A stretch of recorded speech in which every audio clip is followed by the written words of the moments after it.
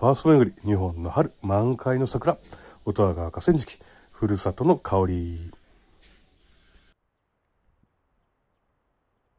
愛知県豊川市。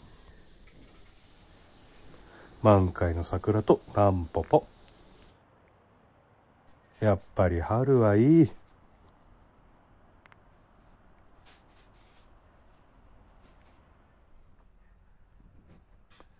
江戸時代東海道の松並木の横です。川の堤防に桜が植わってるってことは古いってこと。立派な桜です。菜の花も綺麗。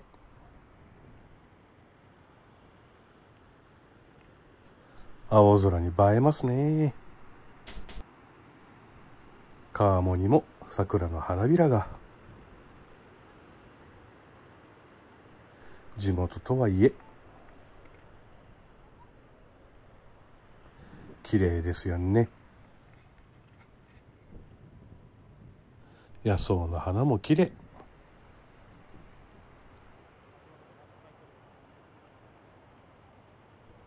まさに日本の春。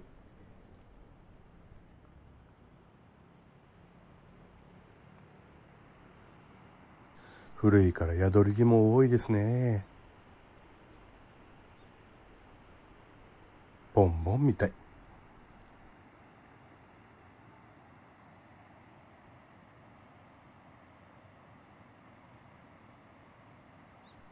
無料の駐車場もあって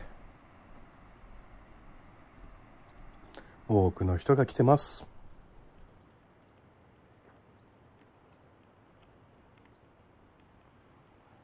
結構な距離に桜ありますよ。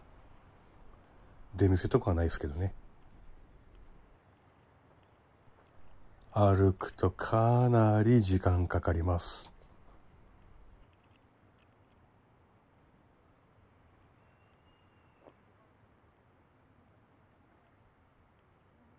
奥の松の並びが松並木。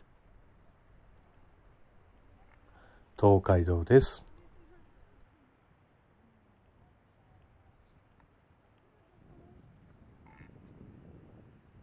お弁当買ってきて食べるのもいいですよ。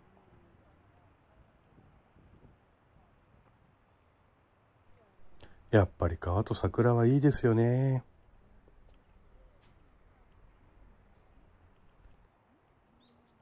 最近は植えれないそうです。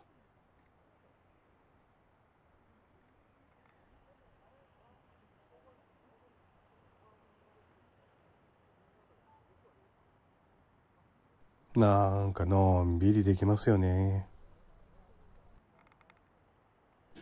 ほんのりします。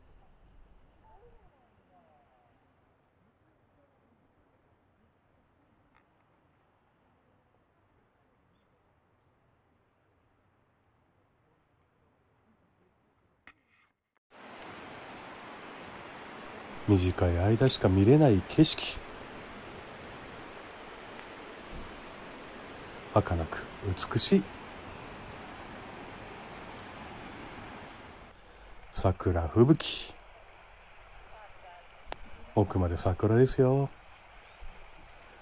以上、パースを巡り、日本の春満開の桜、音羽川河川敷、故郷の香りでした。よろしければいいねとチャンネル登録よろしくお願いします。ヒロモスです。